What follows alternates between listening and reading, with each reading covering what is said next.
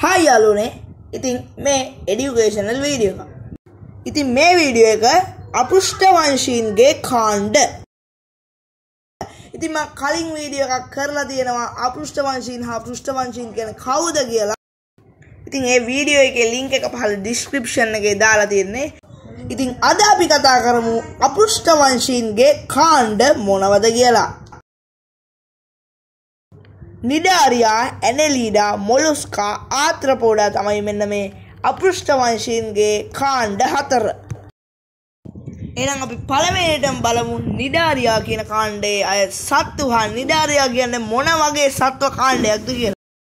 නිඩාරියාවෝ ජලයේ ජීවත් වන විලෝපිකයෝය.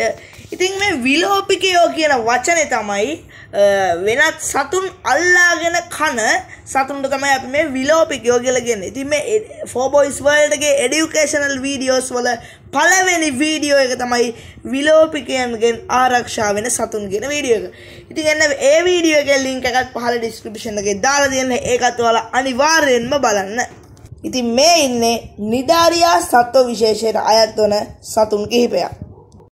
මුහුදු මල හයිඩ්‍රා ලොඩියන් කියන සත්ව විශේෂ වෙන මේ නිඩාරියා කියන සත්ව විශේෂයට ඇත්වෙනවා.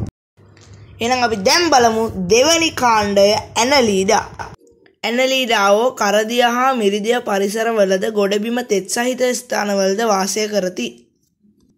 ගැඩවිලා කූඩැල්ලා පත්තෑ පනුවා යන්නේ මේ ඇනලීඩා කියන සත්ව කණ්ඩයට අය සත්තු තුන මොලුස්කා මොලුස්කාවෝ ගොඩබිම මිරිදිය හා කරදිය පරිසරවල වාසය කරති.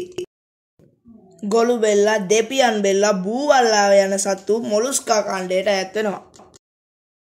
අන්තිම කාණ්ඩය තමයි ආත්‍රපෝඩා. ආත්‍රපෝඩාවෝ භෞමික සහ ජලජ පරිසරවල ජීවත් වෙති.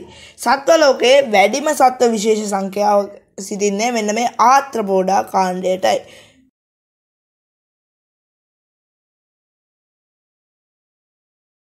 හරි අද අපි කතා කරා අපෘෂ්ඨ වංශීන්ගේ කාණ්ඩ මොනවද කියලා.